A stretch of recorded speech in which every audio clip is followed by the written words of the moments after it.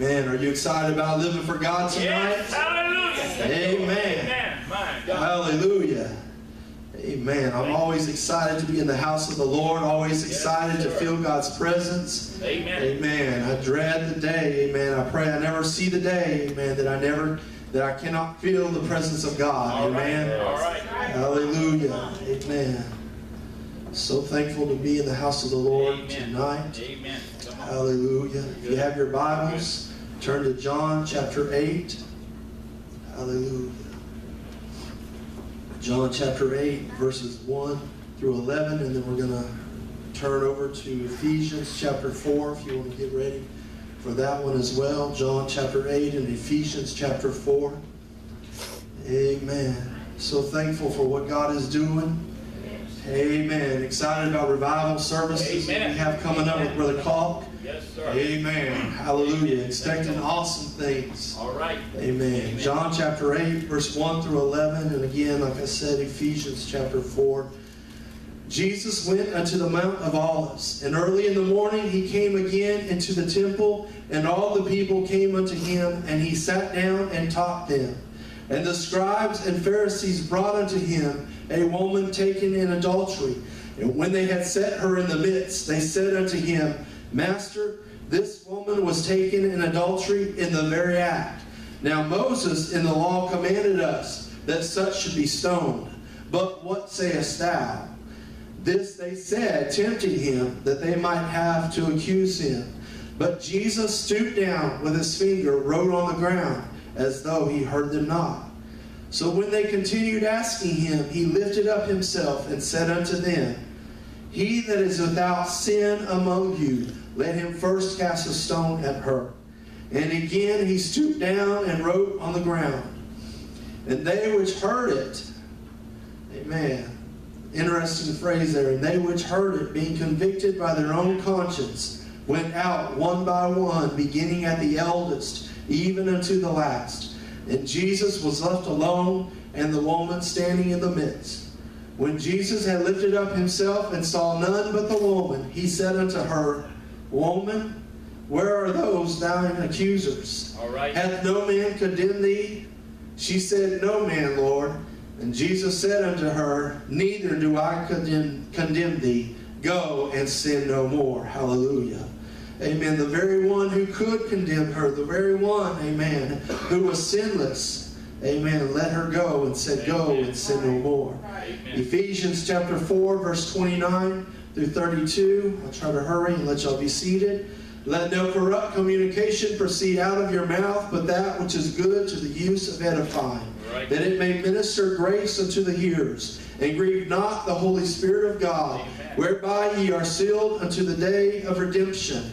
Let all bitterness and wrath and anger and clamor and evil speaking be put away from you with all malice. And be ye kind one to another, tenderhearted, forgiving one another, even as God for Christ's sake hath forgiven you. Hallelujah. Amen. Amen. You may be seated in Jesus' name. Lord, I love you tonight. God, I pray that you help me, Lord. Speak through me tonight. Lord, anoint these lips of clay. Anoint every heart to receive your word. In Jesus' name we pray. Hallelujah. Amen. The church say amen. Amen. Hallelujah, Jesus. Amen. I want to talk about, amen, the three most powerful words, amen, we could ever say to someone. Amen. Or we could ever hear someone say to us. All right. Amen. Those three words are not I love you, although those are very powerful. Amen. But I want to talk about three little words tonight. Amen. That we struggle to say. All right. They are I forgive you. Amen. Amen. Hallelujah. Hallelujah. How many times, amen, have you stood there All right. struggling, amen, to say, I forgive you? Or how many times, amen, has someone, amen, done something to you and you knew, amen, that they should forgive you? Right. Amen. Or, hallelujah. You know what I'm saying? Amen. And I just want to talk for a few minutes tonight about the three most powerful words. All right. Amen. C.S. Lewis said, To be a Christian means to forgive the inexcusable because God has forgiven the inexcusable in you. Alexander Pope stated in an essay on criticism, To err is human, to forgive divine. Amen. Corrie Ten Boom said in clippings from my notebook, Forgiveness is the key that unlocks the door of resentment right. and the handcuffs of hatred. Right. It is a power that breaks the chains of bitterness Yeah, and the shackles of selfless, right. selfishness. Amen. Hallelujah. Amen. I just want to talk about those three most powerful words. Luke chapter 5, verse 18 through 25. And behold, men brought in a bed, a man which was taken with a palsy, and they sought means to bring him in and to lay him before him. And when they could not find by what way they might bring him in because of the multitude, they went up upon the housetop Right. and let him down through the tiling with his couch in the midst before Jesus. And when he saw their faith, he said unto him, Man, thy sins are forgiven thee. All right. And the scribes and the Pharisees began to reason, saying, Who is this which speaketh blasphemies? Who can forgive sins but God alone?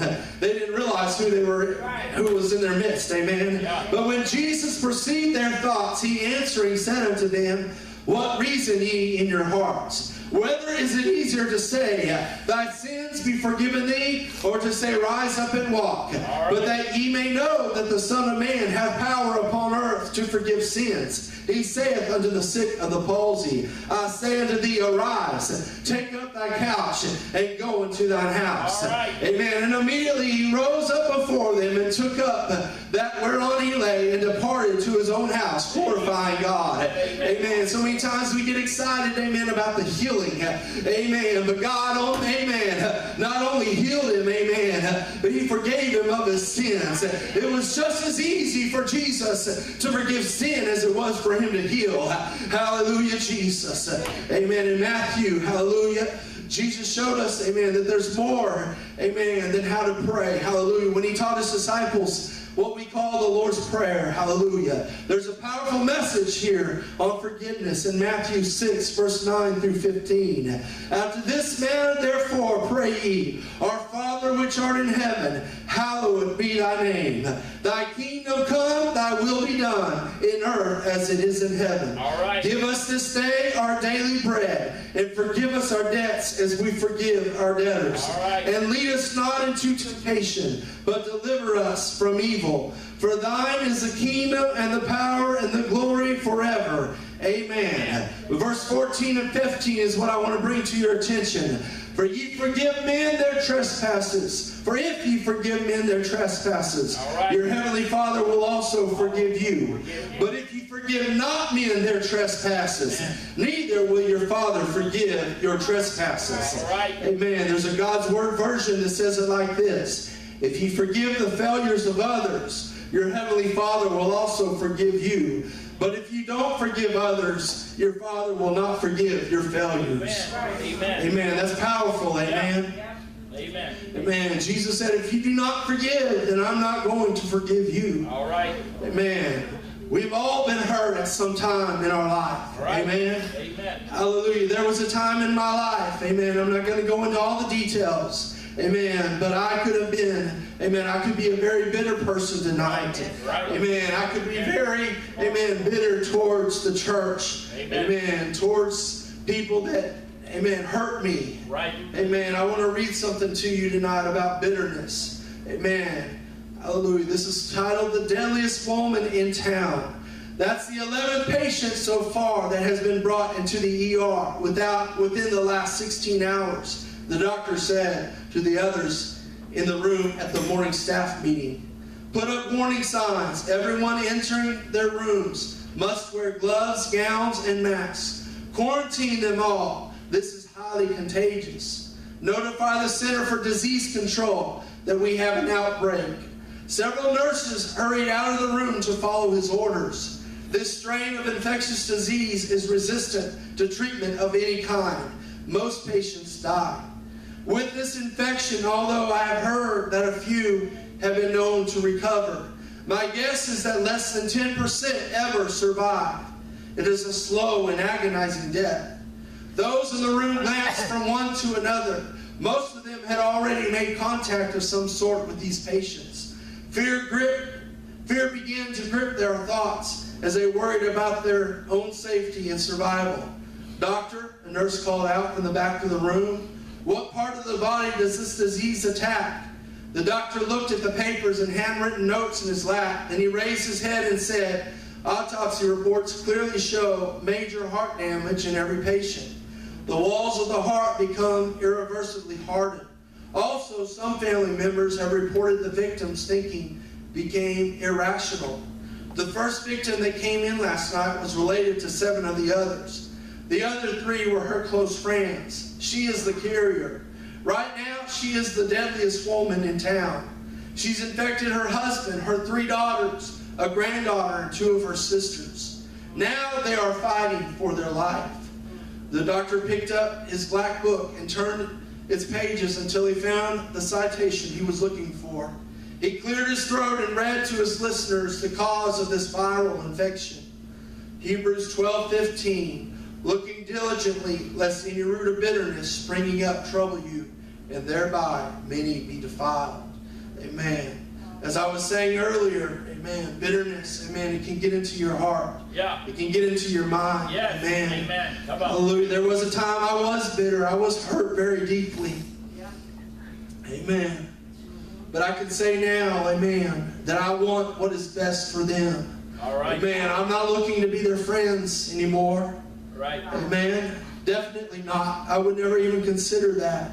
I'll probably never see them again. Amen.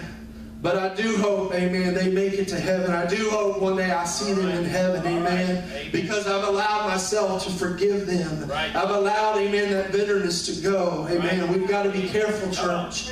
Amen. Matthew 18, verse 15 through 22. Moreover, if thy brother shall trespass against thee, go and tell him his fault between thee and him alone. If he shall hear thee, thou hast gained thy brother. Yeah. But if he will not hear thee, then take with thee one or two more, that in the mouth of two or three witnesses every word may be established. And if he shall neglect to hear them, tell it to the church. But if he neglect to hear the church, let him be unto thee as a heathen man and a publican. Right. Verily I say unto you, whatsoever ye shall bind on earth shall be bound in heaven, and whatsoever ye shall loose on earth shall be loosed in heaven. Again I say unto you, that if two of you shall agree on earth as touching anything that they may that they shall ask, it shall be done for them of my Father which is in heaven. All right. For where two or three are gathered together in my name, there am I in the midst of them. Amen. Then Peter came. Yes. Amen. Then came Peter to him and said, Lord, how oft shall my brother sin against me, and I forgive him?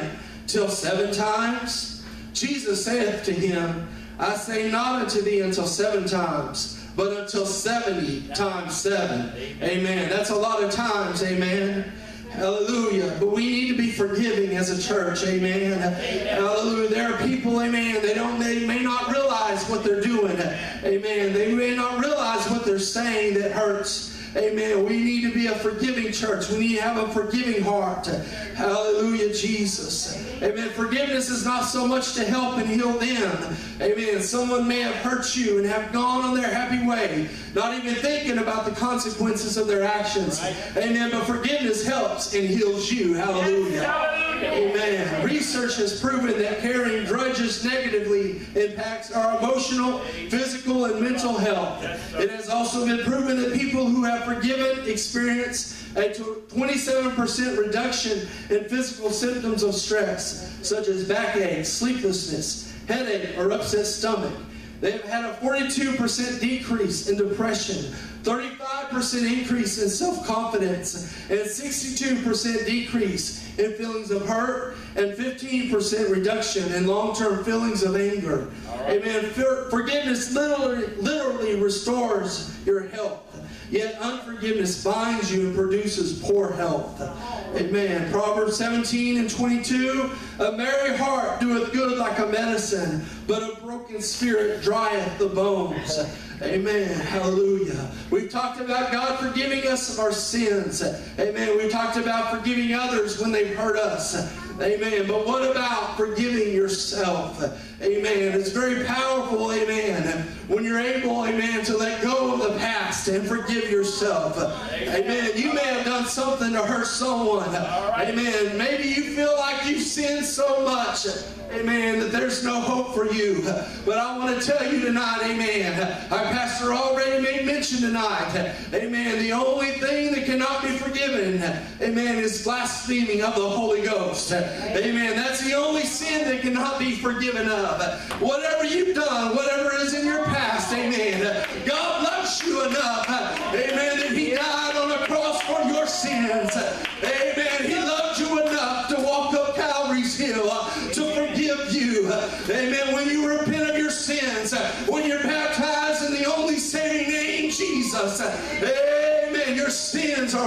Washed away,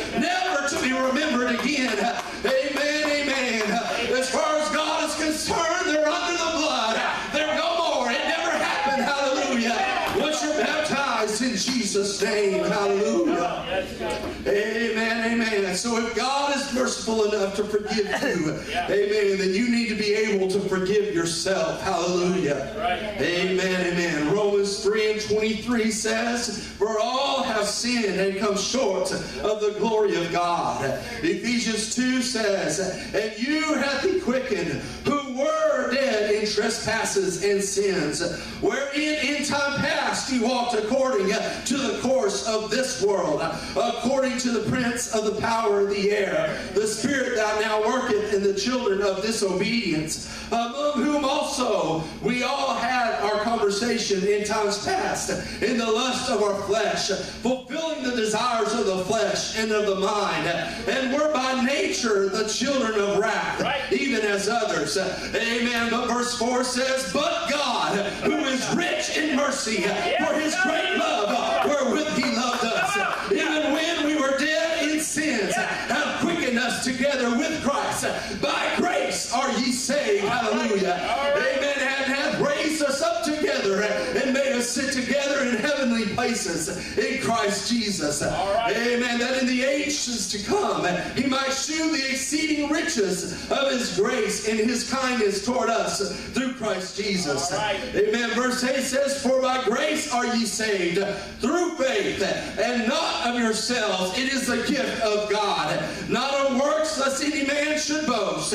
For we are his workmanship, created in Christ Jesus unto good works, which God hath before ordained that we should walk in them. Hallelujah. Amen. Amen. Are you thankful for a God that loves you enough to forgive you? Amen. A God,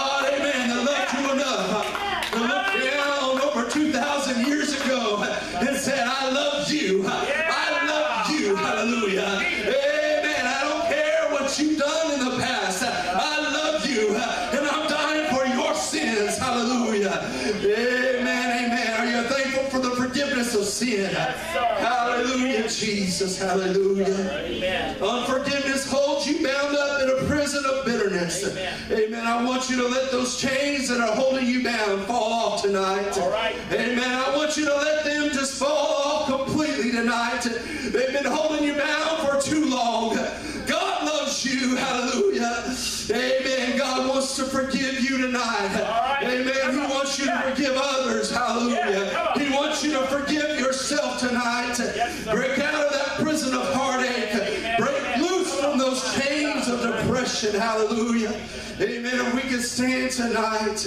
Hallelujah, Jesus. Hallelujah, Jesus. Hallelujah. There's a song that says, There is power in the name of Jesus Yeah. to break every chain. Break everything. Break every chain. Hallelujah. There's power in the name of Jesus tonight. Amen. Amen. Let those chains fall off